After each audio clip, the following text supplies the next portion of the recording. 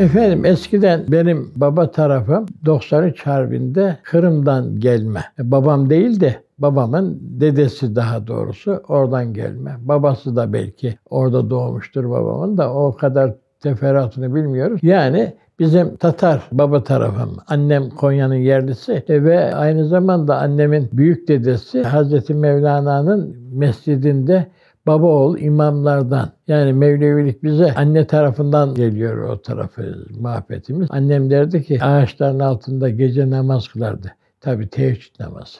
O gece ne namazı kılın. Aymanas'ta koca bağ bahçenin içerisinde. Mevlevilik şey de oradan geliyor. Bu Tatar sülalesinin Konya'ya gelişlerinde çok sanatkar insanlar varmış aralarında. Mesela Lalin Takunya dediğimiz şeyi onların çoğu lastikçilik, araba lastiklerinden e, çarıklar yapılma falan filan. Onlar daha güzelini yaparlarmış. Hatta sanatkar olarak boyacılık araba kenarlarında at arabaları vardı. Onlara at arabalarına Tatar arabası derlerdi zaten. Eskiden Konya'da kanı varmış. Bunlar Kırım'dan gelirken makaslı araba yapmayı biliyorlarmış. Gelmişler burada da şey yapıyorlar. Hatta rahmetlik Nakşi halifesi Doktor Baybal abimin dedesi araba yapardı. Bu arabalar yapardı. Ondan dolayı Tatar arabası Tatarlar yaptığı için Tatar arabası denirdi. Onlar yaparlardı arabayı. Makaslı arabayı. Eskiden Konya'da Kaan'ı vardı.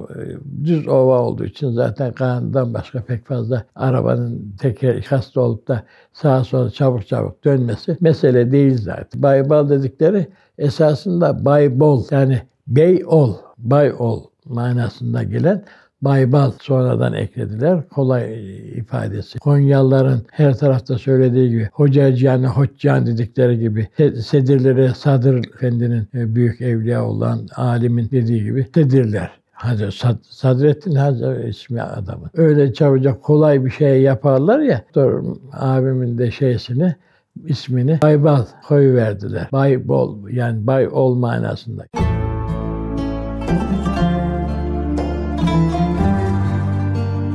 thank you